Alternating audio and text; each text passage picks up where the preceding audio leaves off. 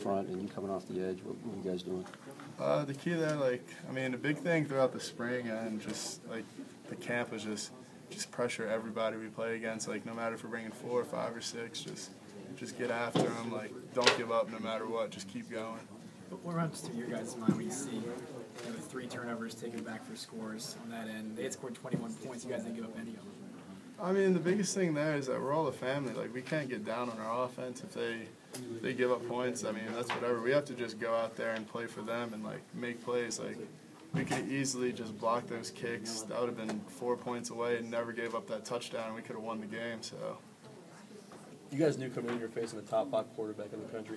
How hard is it not to read his pre- press clippings and get kind of shell shocked coming into a game like this?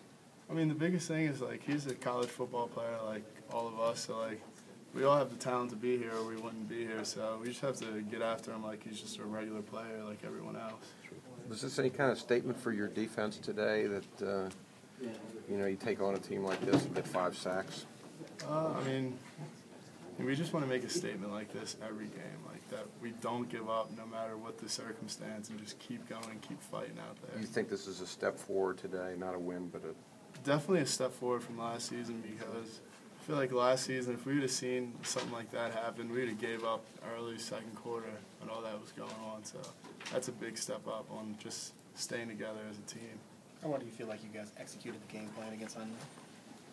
Wait, what was the question? How, how, how well do you think you guys actually executed the game plan, or did, were you just out there kind of, you know, making plays when, when he gave them to you? What, what Uh, was the game plan, I guess, against Hundley? Well, the game plan was uh, like throughout the film, like we watched on him last season from the spring game. Uh, he likes to when he drops back, if the middle's wide open, just run right up the middle. So we just made sure the tackle stayed in two eye and just didn't let him rush right up the middle and like.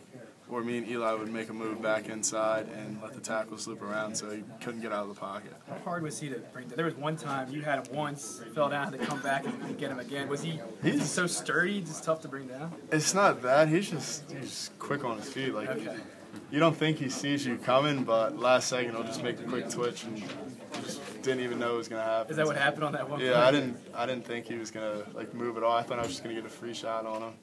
How much did could you sense your confidence growing every drive against them? Could you sense them kind of almost not backing down a little bit? But could you, could you sense your confidence overtaking them a little bit? Yes, I feel like I feel like they didn't expect that out of us. Like a lot of people like put us down this year. It's like a team that was just gonna give up. So I mean the biggest thing we wanted to show is that we're gonna fight to the end no matter what happens. What did you think of him? I think he's a great player. He's going to be a great future NFL quarterback, and, and his game was great. Like he can throw the ball, he gets in trouble, he can make the quick twitch and just run. So I think he's going to be a great quarterback. How do you compare him to Mariota and Boyd from last year? Uh, I say Mariota's faster, but Hundley's definitely like just more agile and quicker than him. You guys flashed this beginning game last year against BYU. Defense was really good. What's the key to kind of sustaining this level this time around?